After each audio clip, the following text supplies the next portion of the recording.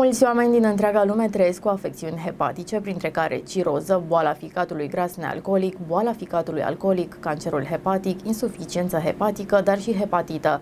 Aceste afecțiuni pot duce la complicații grave și chiar la deces, fiind o problemă reală de sănătate. În fiecare an, bolile ficatului sunt responsabile de aproape 2 milioane de decese la nivel mondial. Factorii de risc pentru bolile hepatice includ consumul excesiv de alcool, nivelul ridicat de zahăr din sânge, obezitatea, hipertensiunea arterială, nivelul ridicat de trigliceride și colesterol și multe altele. Bolile hepatice sunt tratate în mai multe moduri, inclusiv prin medicamente, terapie nutrițională, schimbarea stilului de viață și chiar transplant hepatic. În plus, față de tratamentele standard, multe persoane apelează la terapii alternative, inclusiv suplimente pe bază de plante, în speranța de a-și îmbunătăți și proteja sănătatea ficatului. Aproximativ 65% din persoanele din Statele Unite și Europa cu afecțiuni hepatice iau suplimente pe bază de de cel mai bun ceai pentru tratarea ficatului este considerat cel de ciulin de lapte. Ciulinul de lapte este utilizat de peste 2000 de ani pentru a trata afecțiunile căilor biliare și ale ficatului, iar cercetările arată că ar putea avea proprietăți de protecție a ficatului. S-a sugerat că silimarina, substanță extrasă din această plantă, are efecte antioxidante puternice și poate ajuta la promovarea regenerării celulelor hepatice, la reducerea inflamației și poate fi benefică pentru cei cu boli hepatice. Cu toate acestea, rezultatele